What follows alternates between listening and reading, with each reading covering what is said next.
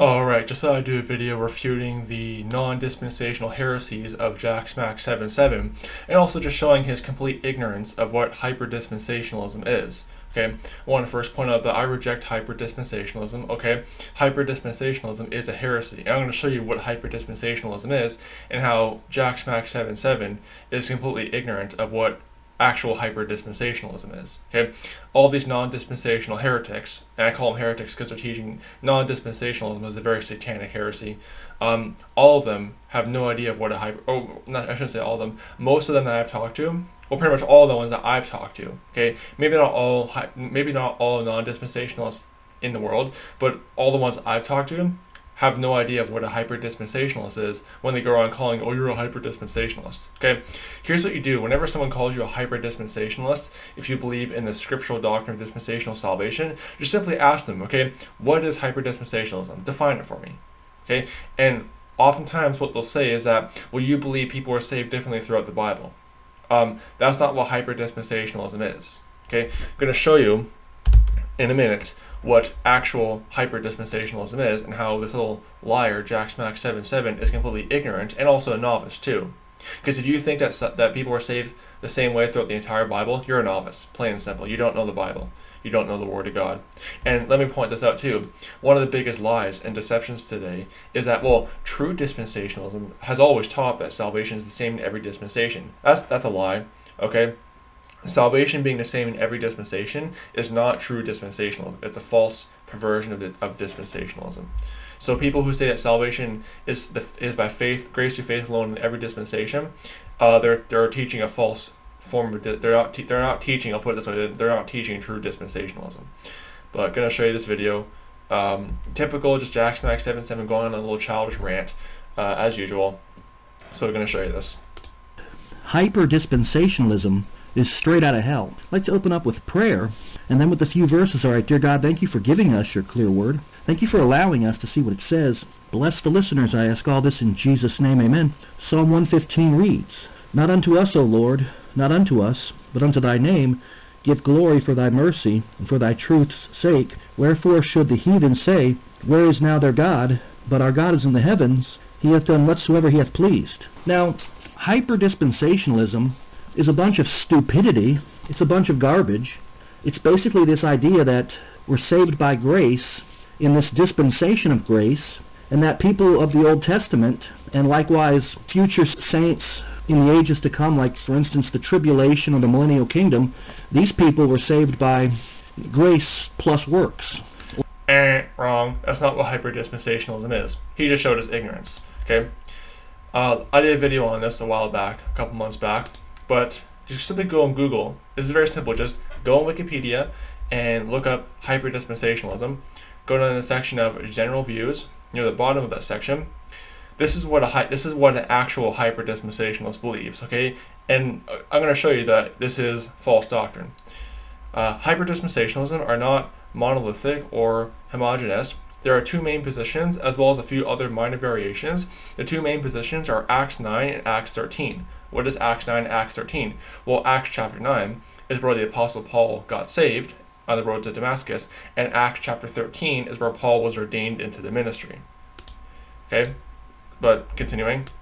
The difference are differences are minor, being only technical. They all see the dispensation of grace, which is the church age, as beginning with the Apostle Paul. Also within the movement is found the King James only elements associated with many teachings of Richard Jordan, Grace School of the Bible, while Act, the Acts 2 position tries to distance itself from its more consistent dispensational brothers, as well as ultra dispensationalism, which basically saying the church age, the, the dispensation of grace, basically, uh, which you know it's not a real term, obviously. Uh, the the term I like to use is the time of the Gentiles. That's, that's my preferred term. But this thing of ultra dispensationalism, they even take it a step further. They say that the church begins after Acts chapter 28. Uh, they are all true dispensationalists and fully evangelical, leading towards fundamentalism. No, they're not. They're not true dispensationalists. Furthermore, the differences separating mid-Acts position from the Acts 28 position are just as great as those separating the Acts 2 position, kind of like the baptismal regeneration heretics, from its more consistent mid-Acts dispensational brothers. Okay, what is a hyper dispensationalist? A hyper dispensationalist is someone who says that there's basically the church age, that the dispensation of grace did not begin till the Apostle Paul. Okay, and and one of the things they'll try to say is that there's nobody in Christ before the Apostle Paul. Okay, that's what a hyper dispensationalist dispensationalist is. A hyper dispensationalist is not someone who says that salvation is different in different dispensations. So Jack Smack just showed his ignorance. Okay, a hyper dispensationalist is someone who basically would say there's there's two bodies of Christ. There's there's the, the body for the Jews with, with Peter, and then the body for the Gentiles of Paul, and there's nobody in Christ before Paul. That is heresy. And going to give you two really good scriptures to refute this this heresy, this hyper dispensational heresy that there's no uh, there's nobody in Christ before Paul.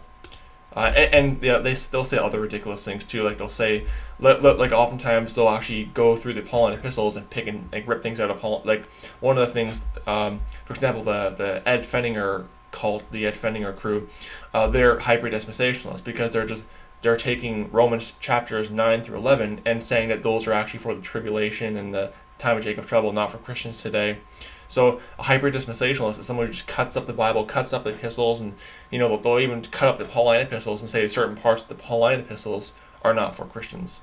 Uh, that's what a hyper dispensationalist is. So, for example, again, my example, Ed Fenninger uh, and his little crew, they're hyper dispensationalists. They they take Romans ten, Romans chapters nine through eleven, and try to say those are not for Christians today, but the rest of the chapters in Romans are for Christians. That's that's a good example of what a hyper dispensationalist does. But two really good scriptures to refute um, hyper dispensationalism. Romans 16:7. Salute Andronicus and Junia, my kinsmen and my fellow prisoners, who were known among the apostles, who also were, look at this, in Christ before me. So, if you're going to go around saying there's nobody in Christ before Paul, what do you do with this? Paul says there were, these people were in Christ before he was. Uh, Romans 16:7, another really good quick little scripture to refute hyper dispensationalism. Acts chapter 5, verse 14. And believers were the more added to the Lord multitudes both of men and women. So when you're added to the Lord, what do you think that means? You're in Christ. How, do, how can you be added to the Lord and not be in Christ? Obviously. So Acts 5.14, they're added to the Lord. So they're in Christ. And this is before Acts chapter 9 when Paul became an apostle. So yeah, Romans 16.7 and Acts 5.14. Some really good quick little proof texts to refute hyperdispensationalism, proving that there were people in Christ before Paul. So again, Jack Smack just displayed his complete ignorance of what a hyper-dispensationalist is. Okay, again, hyper-dispensationalist is not someone who believes the biblical doctrine that there's salvation is different in different dispensations. A hyper-dispensationalist is someone who says, sorry about that, get my mic. Oh, sorry about that. Probably was really loud. Um, a hyper dispensationalist is someone who says that there's nobody in Christ before, before Paul, and that basically the church age, the dispensation of grace, did not begin until Acts chapter 9 or Acts chapter 13, or some will even say till Acts 28. Okay, that's false. The church age, the dispensation of grace, the time of the Gentiles, began after the death of Jesus Christ. Okay, it's just the gospel was not fully revealed until Paul. That's the big difference. But gonna continue. Or faith plus works, and that their salvation is based on an elemental mixture of the two instead of just being grace alone. And the reason why this is so stupid um, is. Yeah, it is grace alone in every dispensation. God's grace has to be there. But grace is not the plan of salvation. You see what he did there? He'll say that, see, it's heresy to say salvation is by faith and works. See, it's always by grace alone. Well, that's true. God's grace is always there. It's always by God's grace. But grace is not, not the plan of salvation. See, these guys, these heretics always do that because number one, the gospel was preached in the Old Testament, and the gospel is the death, burial, and resurrection of Jesus oh, Christ. Oh, really? The gospel was preached in the Old Testament. So then, why did Jesus Christ come and die on the cross then? If they're already being saved by that method, what was the point of him even coming down the cross? Okay, and and again, these heretics always do that. They'll say, "Oh, they're saved by the death, burial, and resurrection of Jesus Christ in the Old Testament." Okay, I mean, that, that just it's just laughable. I mean, really, if you're gonna believe that, you just have to make a complete mess of the scriptures. Uh, Luke chapter nine. Uh, where is it? Beginning at I think it's yeah, I think it's yeah verse twenty one. Sorry, not verse twenty one. It is yeah verse uh sorry, sorry Luke chapter nine verse forty three. Sorry, I'm gonna give you two good scriptures to refute this lie that they're saved by the death and resurrection of Jesus Christ in the Old Testament uh, Luke chapter 9, verse 43. And they were all amazed at the mighty power of God. But while they wondered, every one, at all things which Jesus did, he said unto his disciples, So look what he's going to say. Verse 44 Let these things sink down into your ears, for the Son of Man shall be delivered into the hands of men. So he's foretelling what's going to happen to him on the cross. But look at what happens. Look at, look at their response. Verse 45 But they understood not, they understood not this saying, and it was hid from them that they perceived it not, and they, fear, and they feared to ask him of that saying. They didn't understand what he was saying. So if it's a if it was basically they're always being saved by the death, burial, resurrection, or they're looking forward to the cross, then why is it that they have no idea what he's saying? They didn't understand it. They were not being saved by looking forward to the cross. Another good scripture to prove that, to further prove that. Acts, or sorry, Luke chapter 18, beginning at verse, yeah, verse 31. Uh, Acts, Acts 8, sorry, not Acts, Luke chapter 18, verse 31. Then he took unto him the twelve and said unto them, so he's again going to foretell what is going to happen to him. Behold, we go up to Jerusalem, and all things that were written by the prophets concerning the Son of Man shall be accomplished. Little side note: another thing these heretics, these non-dispensational liars will do is they'll say, well, you see, they'll, they'll take verses which talk about the prophets prophesying the death, burial, resurrection of Jesus Christ, and they'll say, see, they're they're saved by the death, burial, resurrection of Jesus Christ. See, they're talking about it. No, they're just prophesying it. Okay, it hadn't been fulfilled yet. But continuing, verse thirty-two, and he shall be delivered. Oh, sorry, I think uh, yeah. Uh, prophets concerning the Son of Man shall be accomplished, and he shall, verse 32, for he shall be delivered unto the Gentiles, and shall be mocked, and spitefully entreated, and spitted on. Verse 33, and they shall scourge him, and put him to death, and the third day he shall rise again. So just blatantly telling what's going to happen to him. But look at the response again. Verse 34, and they understood none of these things, and the saying was hid from them, neither knew they the things which were spoken. So again, they didn't understand what was being said. So if there was a belief that the entire Old Testament that that there, the the death and resurrection of Jesus Christ was for salvation, then how come the apostles, who were Jewish by the way, had no idea what Jesus Christ was saying? They didn't understand it. They were not being saved by looking forward to the cross, unlike this, uh, contrary to what this little liar, this non-dispensational liar, Jack Smack Seven Seven is saying. Christ, and that never changes.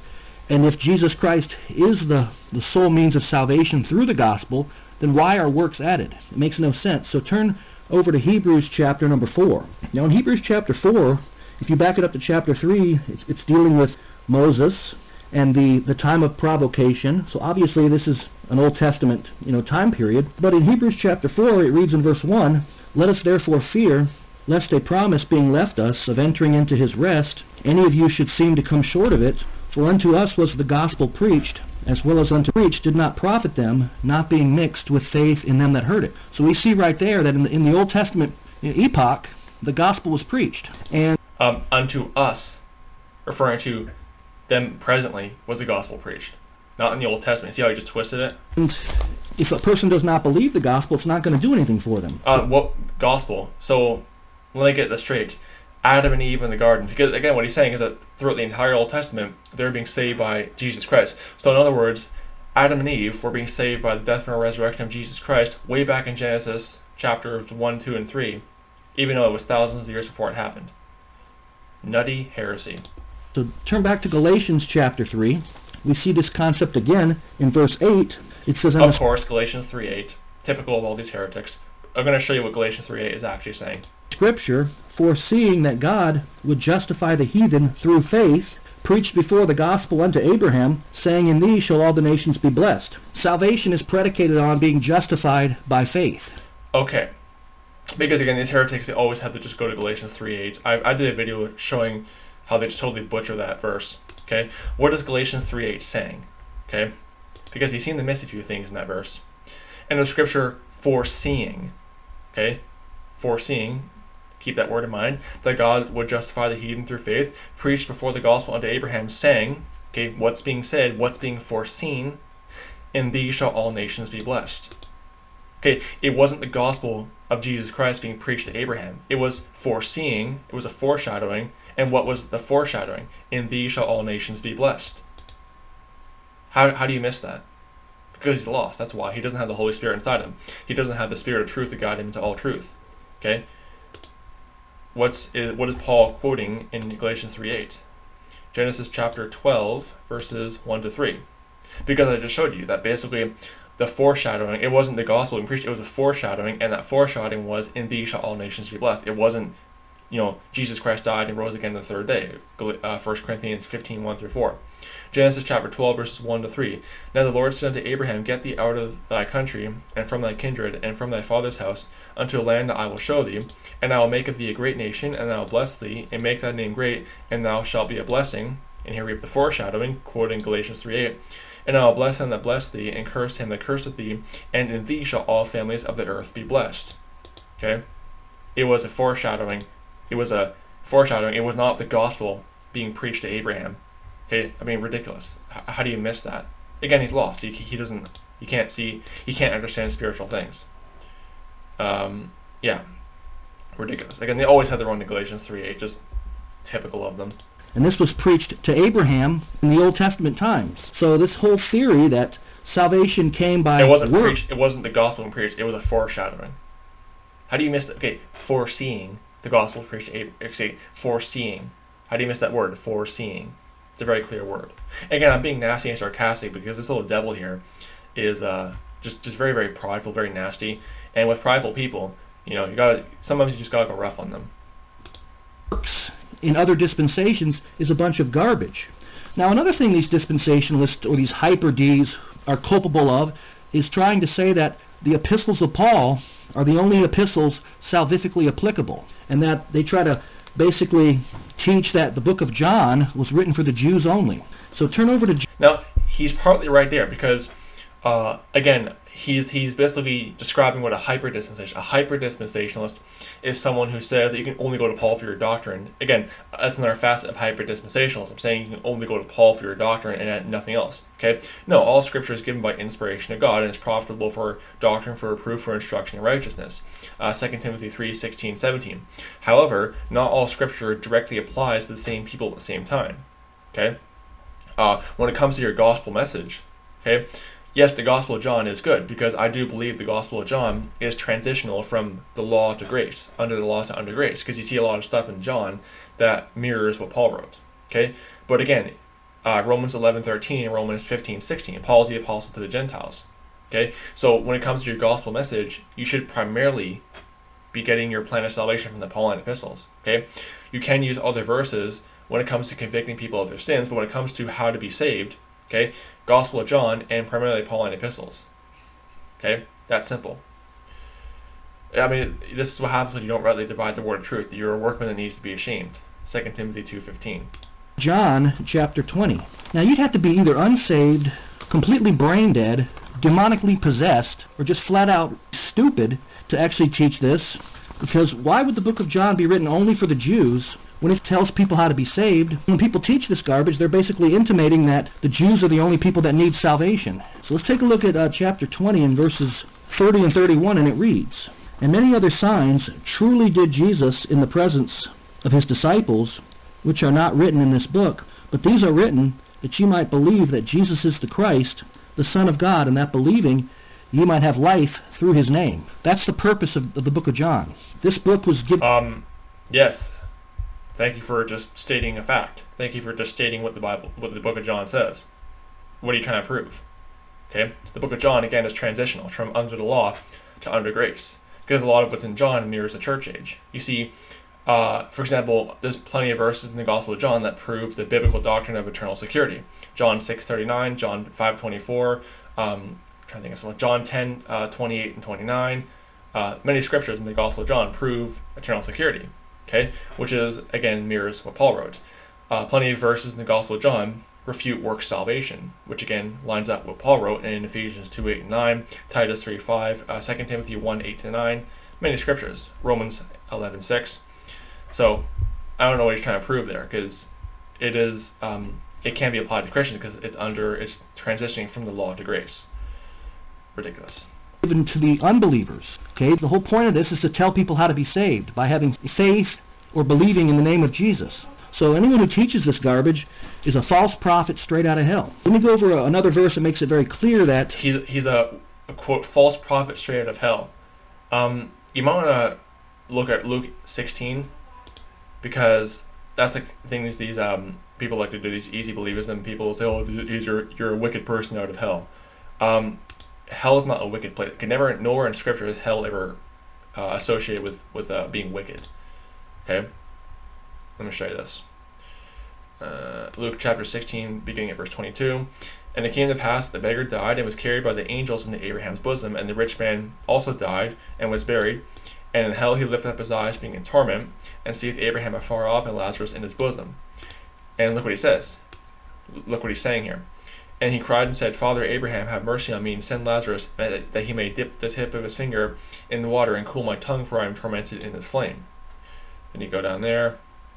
Uh, he, he, talks about the great gulf between Abraham's bosom and uh, hell, which refutes the heresy that, or not the heresy, the false doctrine, okay, that Abraham's bosom either doesn't exist or it's just a place in heaven. Because I know Steven Anderson tried to say that, oh, Abraham's bosom is in heaven or something like that. Um, then he and then the the uh, rich man says, uh, and he said, I pray thee, therefore, Father, that thou wouldest send him to my father's house. For I have five brethren, that he may testify unto them, that lest they also come into this place of torment. Okay, what's going on here? He wakes up. The rich man wakes up in hell, and he's speaking truth. Okay, nowhere in the Bible are people down in hell, you know, being you know saying, "Oh, I hate God. I I, I don't believe in God," and that kind of stuff. No, when people are in hell, they understand why they're in hell. They understand that that they deserve to be in hell, and they understand basically that their punishment is just. Truth comes out of hell. Okay, they're speaking truth. Okay, an atheist when someone someone I'll say it this way: there's not a single atheist in hell. What do I mean by that? Because when you go to hell, you're no longer an atheist. Because at that point, you believe there's a God. At that point, you, you understand that there is a God, and you understand that you deserve to be there, and you understand why you're there truth comes out of hell. So to say, oh, he's a wicked person, a false prophet straight out of hell, uh, no. And again, God's the one that runs hell. You know, ridiculous. I mean, it would make sense if Satan was the one that runs hell. You could say, yeah, he's a false prophet out of hell, but God's the one that created hell and runs hell. So to call somebody, oh, you're wicked as hell, you're you're out, you're a false prophet out of hell, not really scripturally accurate because truth comes out of hell. People are speaking truth. They understand the truth when they get to hell if they're, if they're lost, obviously. Uh, just funny. In the future, in the ages to come, it's still by grace. Turn over to Ephesians. Uh, yes, it's always by grace. But again, grace is not, not the plan of salvation. See what he's doing there? He's, he's deceiving his audience. Chapter number two. The real issue is where did this teaching come from? Well, turn over to Ephesians chapter number two. The real issue is where did this teaching come from? Why would anyone postulate? I, I see what these guys will do is they go with they always do this. They go with Pauline epistle type stuff, which talk about not being saved by works, and they see, see, it was like that throughout the entire Bible. They're always not saved by works. No, again, he's not rightly dividing the word of truth. He's a workman that needs to be ashamed, according to 2 Timothy two fifteen. Why is my cat meowing? Oh, he wants out of the room. Oh well that salvation was completely different in other dispensations. Well, it came from Satan, number one. There's no point in believing this. And the reason why this is so stupid is because. Actually, the only doctrine that came from Satan, um, among many other false doctrines. Sorry about that. Let me just get my alarm.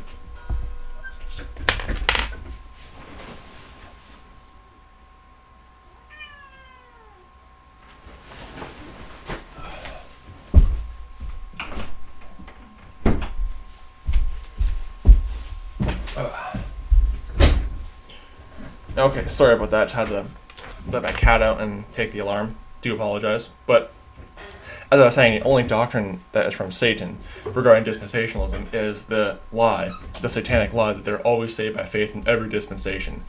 Uh, no, you know, salvation is not the same in every dispensation, and anyone who is saying that is a false teacher. If salvation were a combination, or if it were like a hybrid grace plus works, or faith plus works, then how do you know if you ever attained it? Nobody would have any assurance, and it's just, just a bunch of stupidity. But in, we see in Ephesians chapter 2 and verse 7, it reads, that in the ages to come he might shew the exceeding riches of his grace in his kindness toward us. In the ages to come, referring to the future. Okay? In the Old Testament, again, the gospel is a mystery. Read Ephesians chapter 3, verses 1 to 7. The gospel was a mystery, wasn't revealed to Paul. In the ages to come. Thank you for proving my point that, that salvation is not the same in every dispensation. That's through Christ Jesus. So we see right there in the ages to come, that's future tense, salvation is still by grace. So we need to Yes, it's always by grace. See, he keeps lying. He keeps saying, "Oh, it's always by it's by grace." Yeah, it's always by grace, but grace is not the plan of salvation. Okay? And when you're in the time of Jacob's trouble, what do you do with taking the mark of the beast? Okay? Oh, no, no true Christian would take the mark. Uh, it doesn't answer my question. My question was, what if someone does take the mark? My question was not who would take the mark or who wouldn't. That doesn't prove that, that taking the mark doesn't cause you to lose your salvation. Okay? That's what I love about these heretics. They always will say, oh, you know, well, no, no true Christian would take the mark. But, excuse me, my question was, what if somebody does take the mark anyway? Are they still saved? If you say yes, then you're calling God a liar. Because Revelation 14, 9 through 11 is clear that anyone who takes it, not just unsaved people, anyone who takes it, is uh, will end up in the lake of fire. Watch out for these false prophets, these hyper dispensationalists that they may preach grace in this dispensation, but they're still works teachers because they, they want to teach it elsewhere. So let's turn over to one more verse and then I'll close. Turn over to Hebrews chapter 13. It reads in verse 8, Jesus Christ, the same yesterday, today, and forever. Now, if the gospel message Yeah, that's another little favorite tactic these people like to do is a message about Jesus Christ, as it says in Galatians chapter 1, then the gospel message was the same yesterday, today, and forever. Uh, no, it just says Jesus Christ was the same yesterday, yesterday, and today, and forever. It does not say the gospel was the same yesterday, yesterday, today, and forever. See, again, these they always like the little tactic they like to do. But they'll quote, you know, for example, I think it's, um, let me just go to the verse. They'll quote Hebrews 13.8. They'll quote from Malachi chapter, I think it's 1 I think it's yeah three and verse five, if I'm not mistaken. Yeah, no, Malachi 3 6. For I, the Lord, I, I am the Lord, I change not, therefore you sons of Jacob are not consumed. Okay? And they'll say, see, God is always the same, Jesus Christ is always the same, so the gospel's always been the same. You're adding to Scripture. You know, condemned in Proverbs chapter 30, verses 5 to 6. and it doesn't change. And the truth is, is that no matter what dispensation it is, salvation was always by grace. Let's take a look at one more verse. Genesis chapter 6. Let's take a look at verse 8, and it reads, But Noah found grace in the eyes of the Lord. Now, the reason why I say that salvation was always by grace, Um, yeah, again, they're a little funny tactic. Yeah, again, grace is in every dispensation. No, no, like no, I've never heard, I never met a dispensational teacher who denies that grace is in every dispensation. But grace is not the plan of salvation. I keep having to repeat myself because he keeps lying to his audience. No matter what the dispensation, is because human beings, being in their sinful state, can't save themselves. So if salvation were faith plus works in the Old Testament, and if salvation is going to be faith plus works, you know, in the tribulation or whatever, then nobody would be getting saved. Oh, so I guess I can just take the mark and still be saved then. Because that's what it really comes down to. Okay, regardless if you think, oh, no true Christian would take the mark, it doesn't disprove that if somebody takes the mark, they, they're lost. Okay? Again, my question is not, will, will true Christians take the mark or not? My question is, if they do take the mark, are they still saved? They never answer that question. They have to keep avoiding it. Well, it's, well, it's not an option. They won't be able to take it. No. If they take it, are they still saved? That was my question. Ah, ridiculous. Okay. Galatians chapter 2 and verse 16 makes it clear that by the works of the law shall no flesh be justified. So you can't teach that salvation was different in different dispensations when it would be impossible.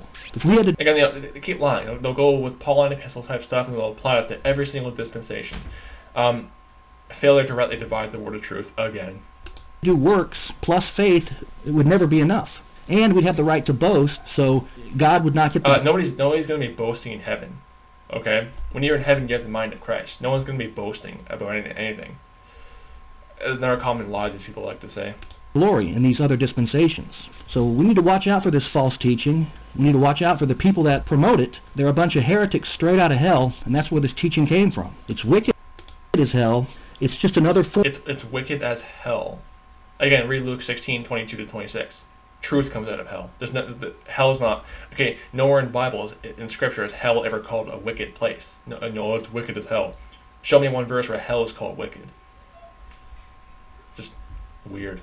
Form of work salvation, thinly veiled. That's all I have. Let me go ahead and close in prayer. Okay, enough of that little heretic. I'm gonna show you from the Word of God verses that this little liar would not show you.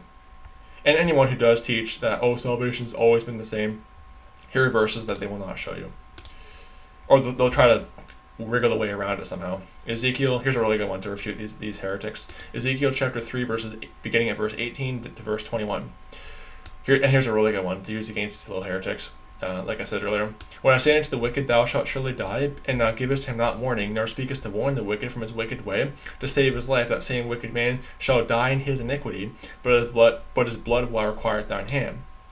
Verse 19, Yet if thou warn the wicked, and he turn not from his wickedness, nor his wicked way, he shall die in his iniquity. Hmm. Interesting how Jack Smack 77 is so militantly against turning from sin to be saved and says that's works. But verse 19, if the wicked turn not from his wickedness, he what's the result? He dies in his iniquity. So, what do you have there? Works. You're having to turn from your sin. Okay, again, turning from sin is works. Jonah 3.10. You read Jonah 3.10, God saw their works. What were their works? That they turned from their evil way. Ezekiel 3.19. If he turn not from his wickedness, nor his wicked way, he shall die in his iniquity. So they say by faith? I don't think so. Verse 20. Here's a really good one. Ezekiel 3.20. Uh, down to, yeah, I'll just, yeah, verse 20, I'll put it that way. Again, when a righteous man doth turn from his righteousness and commit iniquity, and lay a stumbling block before him, he shall die, because thou hast not given him warning. He shall die in his sin, die in his sin. I'll say it again one more time for these heretics. And his righteousness which he hath done shall not be remembered, but his blood will I require at thine hand. So you have a righteous man turning from his righteousness, and he dies in his sin as a result. What does it mean to die in your sin? You go to hell. A righteous man here. So, what do you do with that? Oh, it, it just talking about physical death, just physical death. Uh, excuse me, it says die in your sin. Doesn't talk anything about physical death. Talking about a righteous man losing his salvation, oops, and dying in his sin. What, how do you get around that? Again, Ezekiel chapter 3, verses 18 down to verse 21. I'll read verse 21. Nevertheless, if thou warn the righteous, and the righteous that the righteous sin not, he doth not sin, he shall he shall surely live, because that he is warned, and thou hast delivered thy soul. So you're having to sorry, and also thou hast delivered thy soul. So you're having to warn the righteous to turn from sin to deliver your own soul. Again, that's Ezekiel chapter 3, verses 18 through 21. Go look it up. refutes the whole heresy that salvation has always been the same in every dispensation. Here's another good one Ezekiel chapter 4, verse number 14. Because notice how he said, Noah found grace in the eyes of the Lord. Okay. Ezekiel chapter 4, verse number 14. Though these three men, Noah, Daniel, and Job, were in it, they should that sorry, they should deliver their own souls, deliver their own souls. Look at this, by their righteousness, saith Lord God. So let's say by faith. Um, I don't think so. They're delivering their souls by their righteousness. Okay, compare this over to Deuteronomy chapter 6, verses 24 and 25. And the Lord commanded us to do all these statutes, to fear the Lord our God, for our good always, that he might preserve us alive, as it is at this day. Look at verse 25. And it shall be our righteousness, if we observe to do all these things, all these commandments before the Lord our God, as he hath commanded us. Our righteousness. Uh, I don't think they're being saved by faith. Doesn't look like that, unless you're a lost, hell-bound heretic like Jack Smack 77, who has no understanding of the Word of God. Another good one, Ezekiel chapter 18, and there's so many verses I can go through, just a couple of them. Ezekiel chapter 18, verses 24 to, to uh, 27, uh, which is mirroring what Ezekiel 3, verses 18 through 21 says. Uh, Ezekiel 18:24, but when the righteous turneth away from his righteousness and committeth iniquity, and doeth according to all the abominations, sorry, that the wicked man doeth, shall he live? All his righteous righteousness that he hath done, you know, Deuteronomy 6:25, it shall be our righteousness, shall not be shall, shall not be mentioned. In his trespass that he has trespassed, and in his sin that he has sinned, in them shall he die. So again, a righteous man turning from his righteousness and committing iniquity, and he's dying in his sin as a result. You know, John chapter 8, verse 24, if you believe not that I am he, you shall die in your sin. What does it mean? That, again, what does it mean to die in your sin? You go to hell. A righteous man here. Uh, verse 25. Yet you say, The way of the Lord is not equal. Hear now, O Israel, or house of Israel, is is not my, my way equal? Are not your ways unequal? Not good at reading on a computer. Verse 26 When the righteous man turneth away from his righteousness and committeth iniquity, and dieth in them, for his iniquity that he hath done, shall he die. So again, you have someone dying in his iniquity. Here's a really good one to refute the whole. People say, "Oh, this is about physical salvation." Okay, answer this then. The whole Fenningerite heretics. Uh, Ezekiel 18:27. Again, when the wicked man turneth away from his wickedness that he hath committed, and doeth that which is lawful and right, he shall save his soul alive. So he's saving his soul, not physical salvation. He's saving his soul because he's turning from his wickedness. They're not being saved by faith, by grace through faith alone in every dispensation. Uh, a couple more scriptures I'm going to cover. Ezekiel chapter 33, verses 8 to 9. When I say unto the wicked, O wicked man, thou shalt surely die, if thou dost not speak to warn the wicked from his wicked way, that wicked man shall die in his iniquity, but his blood of lie requireth thine hand. So again, a wicked man who doesn't turn from his wickedness, he dies in his sin. Where is the mention of Jesus Christ dying for his sins? It's not. Verse 9, Nevertheless, if thou warn the wicked from his, from his way, to turn from it, and if he do not turn from his way, he shall die in his iniquity, but thou hast delivered thy soul. So again, he has to turn from his wicked way, to uh, or else he would die in his iniquity. And but look at this, but thou hast delivered thy soul. So you're delivering your soul because you're warning the wicked. Sorry, I just had to. My cat came in.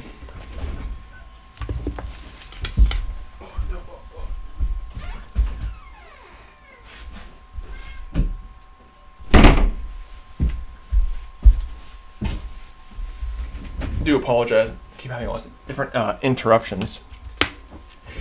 Anyway, um, yeah, just going to cover a couple more scriptures, then I will close this video. It's getting pretty long. Uh, oh, what was, I, I, I going to cover? Oh, yeah, uh, Leviticus chapter uh, 16. Uh, where is it at? I'm trying to remember. I think it's somewhere in verse, somewhere in chapter 16. Let me just try to find it. Uh, where is it? Where is it? Where is it?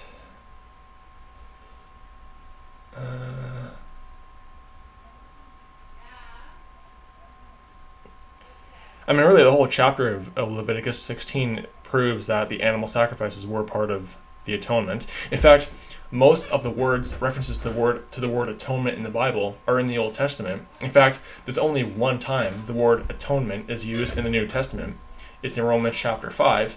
Uh, the rest of the times the word atonement is used in the Old Testament, or is it, the rest of the time the word atonement is used in the Bible, are in the Old Testament, and a lot of them are reference to animal sacrifices they were an atonement. They weren't just symbolic, as some people, some heretics will try to teach. Uh, where is it? Where is it? Uh, where is it? I'm trying to find it. It's I can't remember exactly where it is. Uh,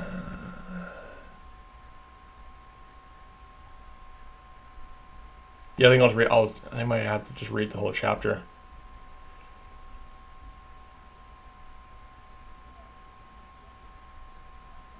Where is it? Where is it? Yeah, here it is. Yeah, uh, Leviticus chapter 16, verse number 16.